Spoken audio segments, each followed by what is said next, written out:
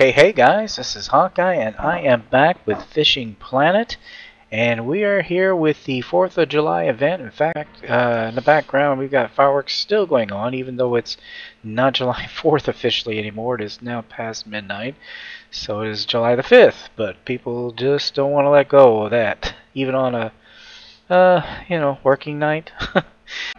anyway, I'm going to go ahead and show you here real quick what we're going to be taking on this time. We're in the Everglades and there's two fish that we need to get while we're here from different fish tag coordinates that we're going to look at. The first is the historic butterfly peacock bass. This is using the Liberty medium spoon. That's what we're going after first. And the second is under the fish tag coordinate 6 and that is the historic common snook using the Salut Nymph 4 inch. Now I'm going to have to use the same rod for both because these fish, especially the uh, snook, comes fairly large and I need a bigger bit rod for that so just going to be using the one so I'll be switching the lures from one within the same rod here so anyway, I don't know if we're going to go on to another one or just stick with these. This will probably take a minute anyway, so I did want to show you a few things while we're here real quick. Now, if you're wondering where to find the flag, it is at this particular spawn point. And for the butterfly peacock, you can get them pretty much anywhere along here. I've only occasionally get them at the Salty Delta, but usually the floating thickets I get them the most often here. And occasionally at Affinity Tunnels and occasionally at Lily Pad Channel. Lily Pad Channel is really more for largemouth. And Affinity Tunnels, eh, about, about the same either way. Here's where I really get them though. Because of that, I think that's what we're going to start off with. We're going to get the get the butterfly peacock bass taken care of out of the way here. I think we're going to have to advance time a little bit though because the peak is well away from us. I'll go ahead and forward time here. And that's going to, now you can see the flag even better now. Well, let me go ahead and get my rod out. This is the Liberty Medium Spoon. Now, I had gone over to the Cannon just a little bit ago and picked up yet another Liberty medium spoon. So I now have more than one which is nice. These are excellent lures for a variety of things. But the butterfly peacocks they're pretty much anywhere along here and they're usually pretty ravenous. Usually get them in the middle of the day and even during non-peak times they usually bite pretty well as long as it's daylight There have been times when all I had to do was just kind of drag it through and the daggone things attacked. So, yeah, let me cast a little bit further here.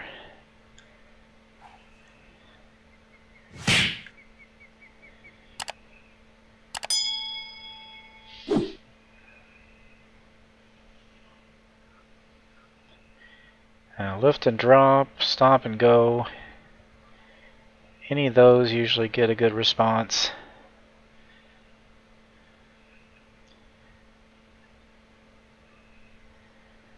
There we go. We might get a largemouth too. There, there are plenty of those around here as well. Hopefully this is what we're after.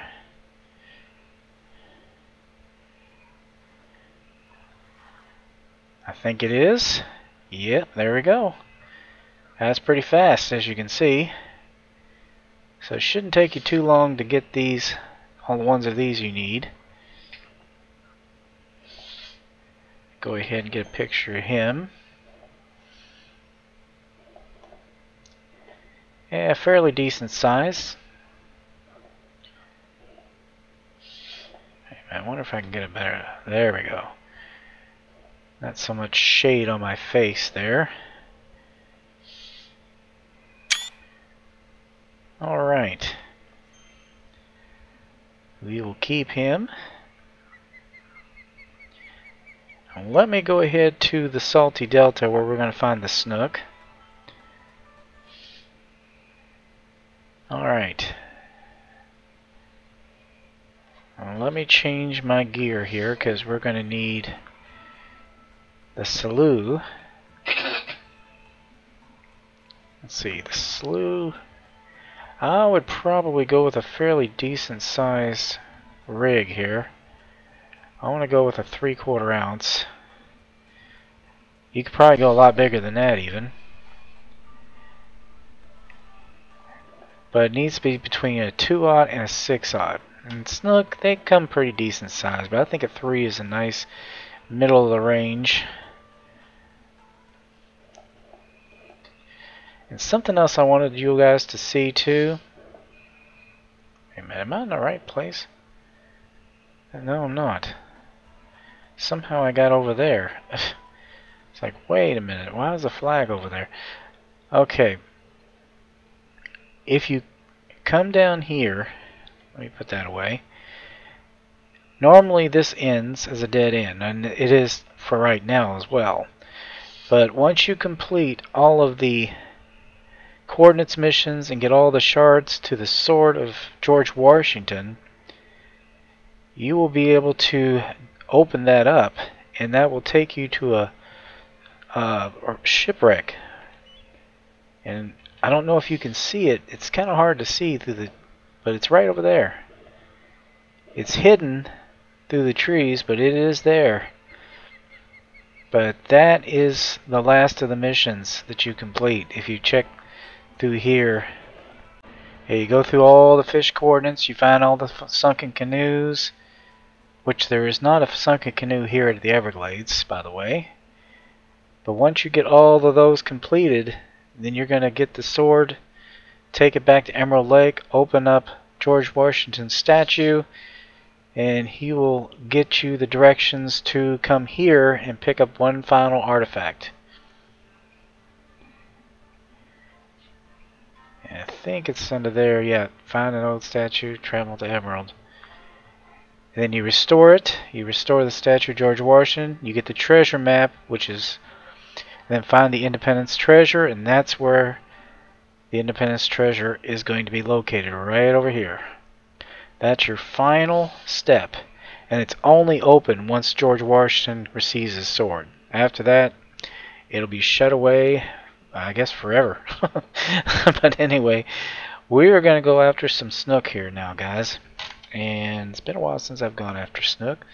I used to get them out here all the time, in this general vicinity. Let's just see if they're still there. Wait a minute. Historic common snook, so I do have a marker do have a marker. And I caught it in the late evening, so, but this is, so that's the one right out there.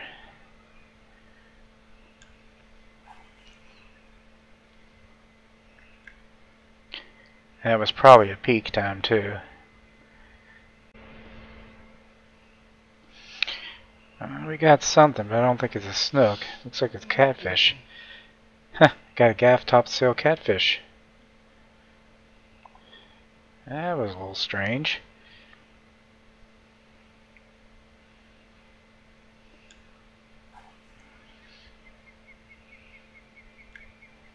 Kind of interesting to realize that they go for that. I would never have guessed. They went for nymphs.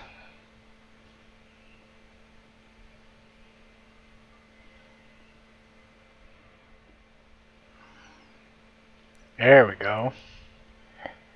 Boy, it took him a little while.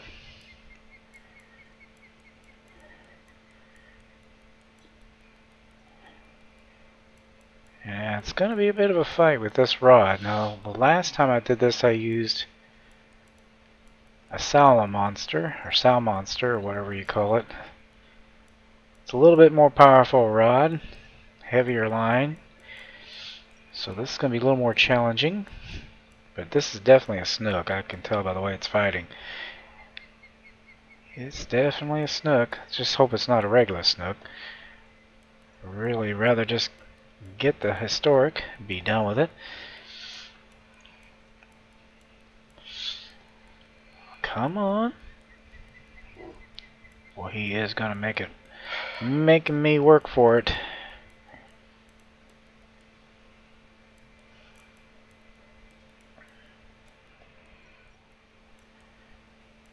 I've already had him within 60 feet, and he went right back out to past 100 again, which he's doing again.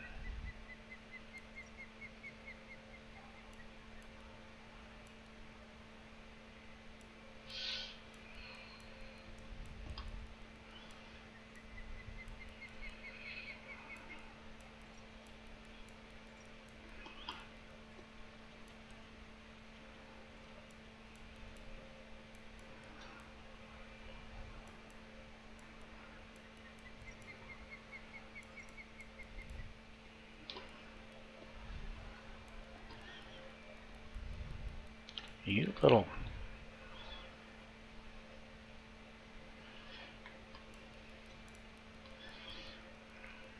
Oh, son of a gun, he's going to do it again.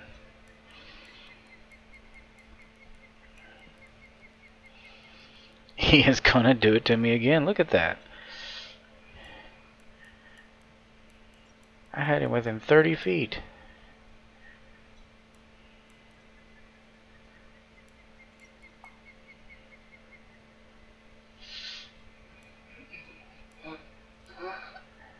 Going to hold it up and keep the pressure on him.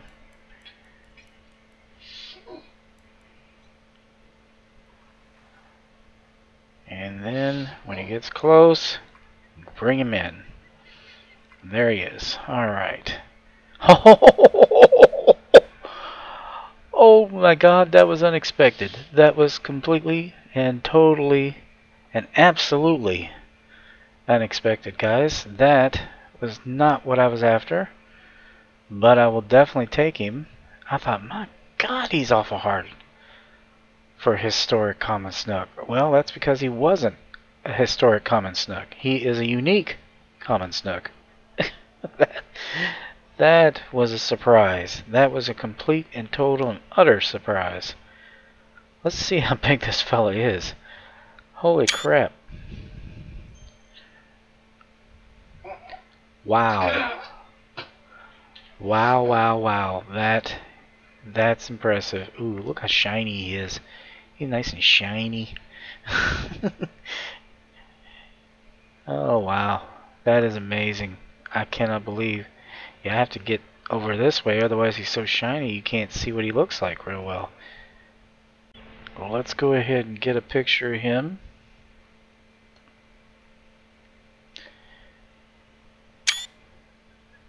I guess that uh, takes care of trying to go after a unique common snook later on. We got him when we least expected it. well, I'll tell you one thing for certain, guys. I'm putting a marker on that one. Without a doubt.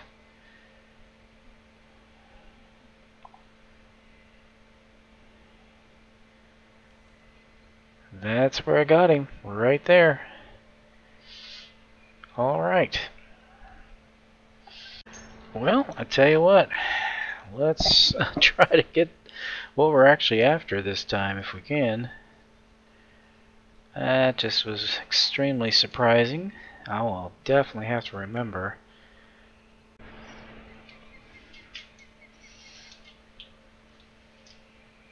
There we go.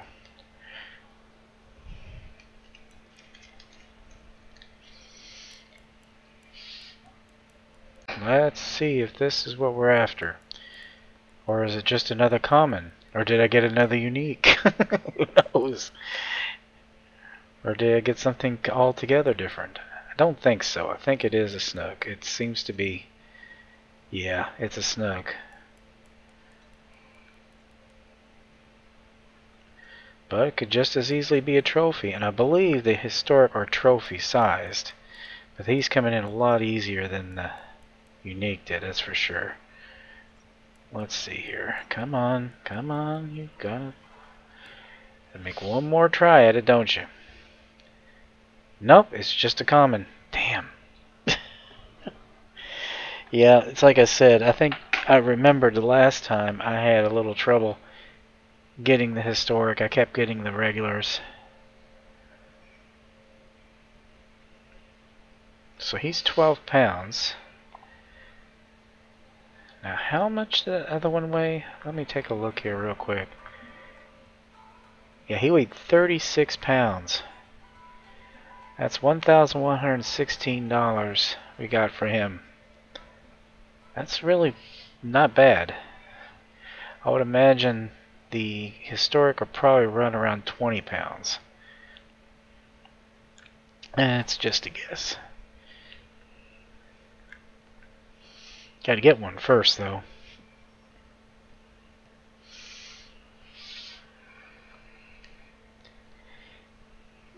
Yeah, some of these historic ones are challenging. The peacocks, they they've always been pretty easy, but they're pretty easy to catch generally anyway.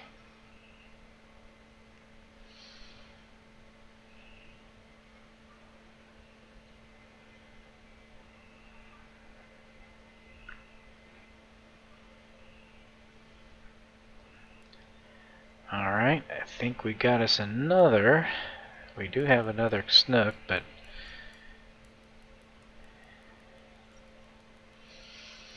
they do seem to be biting.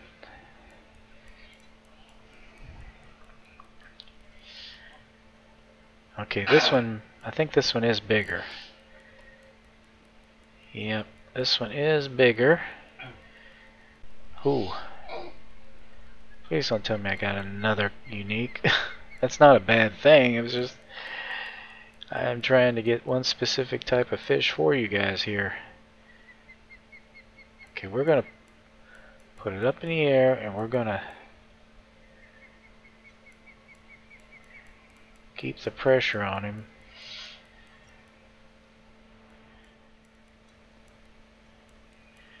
He does not want me to get him past 36 feet. no, I don't want to go.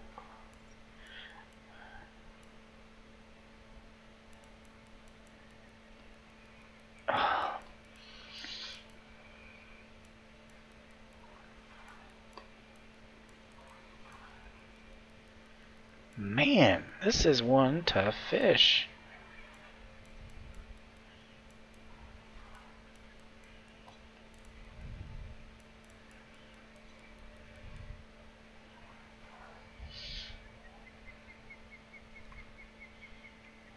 We got him. Nope, he's a trophy. oh, Lord. He's a trophy. Oh, my goodness. I have caught every size, but not a historic. Can you believe that? 759, 25 pounds. I was right, around 20 pounds or so. That's just amazing.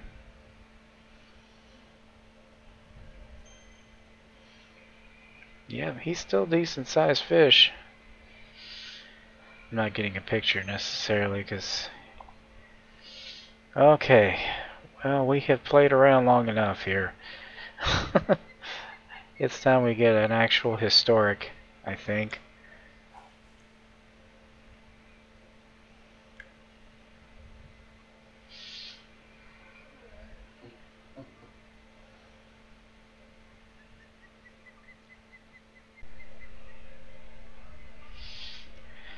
We have gotten every size they come in.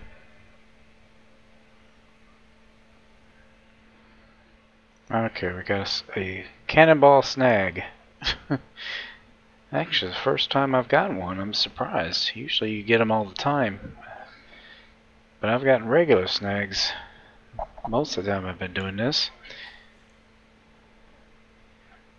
But of course that is the way you get the cannonballs in this, if you aren't purchasing the DLC that is. There we go, and I bet you this is what we're after, guys. I bet you. I'm hoping anyway. yeah, I had fast forwarded time to the non-peak period.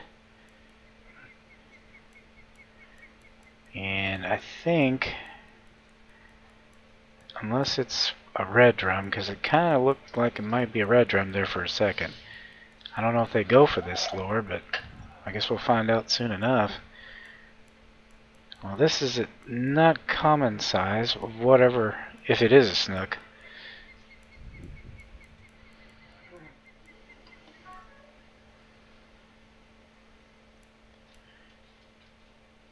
Alright, we're finally making some headway, guys.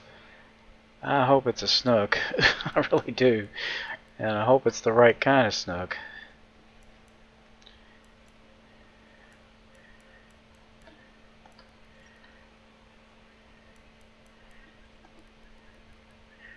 This fish has taken it out and he's taking it out again. He keeps doing that.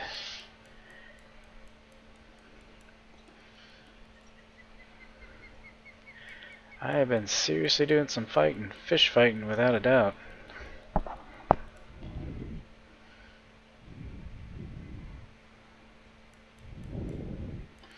But I can't seem to get past, okay there we go, 40 If I just keep it moving. It is a snook. And it is a historic, finally. Oh, crikeys.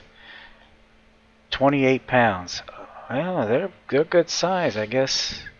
Right in between unique and trophy. Or maybe it's a high level trophy. Well, there he is, finally. Yeah, I had to go in a non-peak period. That seemed to make the difference. So this is an event fish that is much easier to catch during the non-peak periods. To give you a little bit of a helpful tip there. I didn't I don't I didn't remember if that was the case, but I went ahead and once I was able to advance time without being charged, went ahead took the chance and saw that that is the case. Let's see here. Let me get a good look at him. Yeah, that's about trophy size. Not quite as big as the Unique though. The Unique was what 38 pounds, but still decent fish. You can see him a little better now. I got a picture of him as well.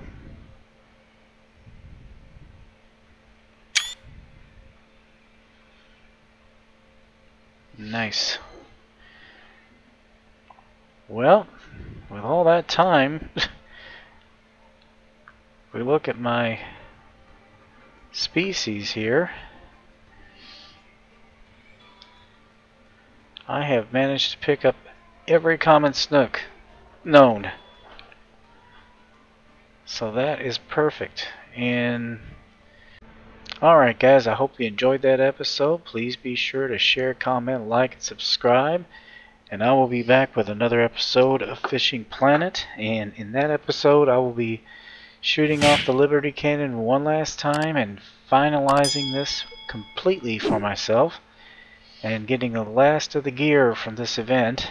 Then we'll go on and see what other species we can go after. I think there are quite a few as a matter of fact still left to go after. We will be leaving here.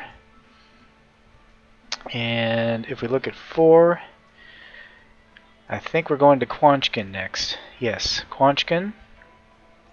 And probably St. Croix. The historic largemouth bass and the historic chain pickerel. Those will be the ones we get at Quanchkin. Alright guys, well, anyway, I hope you enjoyed that episode. Please be sure to share, comment, like, and subscribe. And we will be back with another episode of Fishing Planet. So until then, guys, as I always say, aim straight, cast far, and have fun. I'll see you later. Bye-bye.